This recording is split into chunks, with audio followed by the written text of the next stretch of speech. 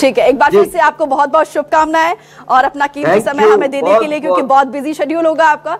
Again शुभकामनाएँ आपको। बहुत बहुत बहुत धन्यवाद आपको बहुत बहुत धन्यवाद नमस्कार। जी तो यहाँ पर देखिए किस तरीके से अब आगे की तैयारी करते हुए तमाम वो दिग्गज जीत के लिए जनता का आभार प्रकट करते हुए और ये तस्वीरें भी हम आपको दिखा रहे। देखिए किस तरीके से खूब आशीर्वाद प्यार दुलार अपने सूबे के मुखिया पर लुटाया जा रहा है और सीएम की पत्नी यहाँ पे साधना जो हमेशा से ही साथ बनी रहती है, एक ढाल की तरह, और वो खूब गले लगकर जनता के प्यार को स्वीकार करते हुए और लोगों का अभिवादन स्वीकार करते हुए और हर एक तस्वीर हम आप तक पहुँचाने की कोशिश कर रहे हैं, क्योंकि आज का दिन बेहद खास खास तौर पर बीजेपी के लिए। और आज शाम करीब साढ़े छह बजे के आसपास देश की राजधानी दिल्ली में बीजेपी मुख्यालय में देश के प्रधानमंत्री आएँगे, जहाँ पे कार्यकर्ताओं को संबोधित करेंगे, क्योंकि तीनों हिंदी पट्टी राज्य में अभूतपूर्व जीत की तरफ़ आगे बढ़ रही है। बीजेपी,